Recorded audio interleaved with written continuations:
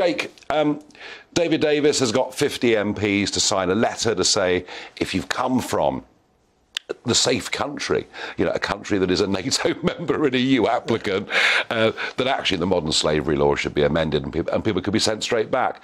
Um, is David Davis and, and his 50 colleagues, are they on the right track with this? Yeah, I think they are. I mean, we should be really proud in this country of the Modern Day Slavery Act. It's something that Parliament did. We were a global leader in this field. But where we get things wrong or laws are open to abuse, mm. we should never shy away from changing them. Uh, David is right. He's picked up on this point that I think you've picked up previously that people who come here and claim to be victims of modern slavery often don't say that. So they've had two or three hours sat with one of these highly paid lawyers that the taxpayers yeah. is paying for them to see the system is being abused, and I think the government should look at changing it. Yeah, quickly, I suggest, because the country is getting pretty upset. Yeah, but we can't throw the baby out with the bathwater because this this is a good piece of legislation that is being abused by people who want to use it to remain in the UK. We should we should change it rather than scrap it.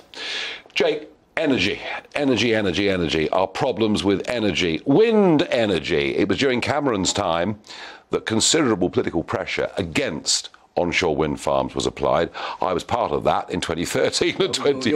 Well, of course. I mean, of course, obviously. You're to blame um, for everything, aren't you? Well, you know, they're ugly. They don't really work very well. Uh, they involve massive subsidies. But you're very much in well, favour. I mean, Boris used to call them the white satanic mills, which I think, uh, yeah. you know, in the north of yeah. England is something yeah. we can understand. Look, no country is sovereign without having its own sovereign energy supply. And at the moment, we are you know, being held to ransom by a hostile foreign power, which is the reason when your bill drops through your letterbox or arrives in your inbox, you get that bill shock of that huge bill. So the government has to have a plan to become self-sufficient for energy. And I think that wind turbines, and by the way, fracking as well, which ah, I proudly okay, voted well, for with that. Liz Truss, yeah are part of that mix. The wind doesn't always blow, the well, sun doesn't always shine. This is the problem. But they should be part of the mix. And we have a de facto ban. So yep. what I'm calling, Simon Clarke's calling for, and I've been supporting him, is let's reverse that de facto ban with a referendum lock for local communities, a legally binding referendum that gives them a stake. Maybe they get paid for having them nearby. That gives them a stake. Well, actually, so they can be part of our energy. Well, actually, mix. they're paying already.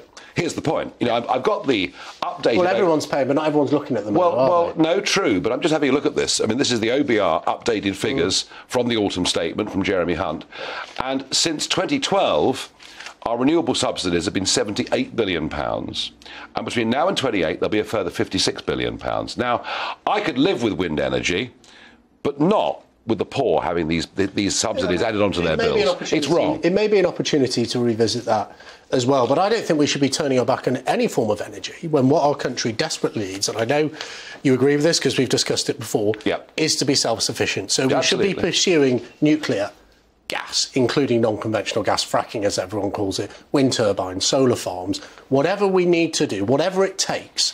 We cannot let okay. our country be held to ransom no, by hostile I, powers. Jay, you and I agree on that. I just all I'm saying to you is that, that, that onshore and offshore wind is very expensive. Yeah. Uh, it is the poorer people, pro rata, that are paying for this because energy is a much bigger percentage of their overall outgoings. But, and that for the next three days this week, there'll be no wind. Yeah, but well, as we think we're about to come on to, but poorer people are also paying for new nuclear. I mean, it's just part of our energy mix. The great mistake I think we've made is to move away from more traditional powers of energy generation, like nuclear and like gas, historically coal fire power stations, and have this sort of reliance only on renewables. Well, we, we need it all.